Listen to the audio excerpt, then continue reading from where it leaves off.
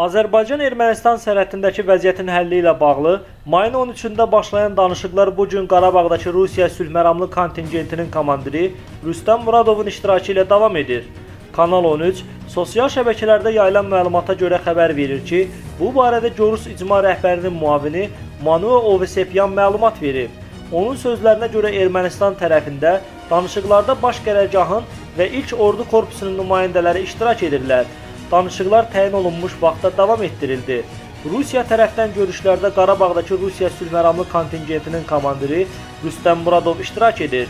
Ovsepyan vurğulayıb. Manuel Ovsepyan sərhəddə vəziyyətin dəyişməz olaraq qaldığını da sözlərinə əlavə edib.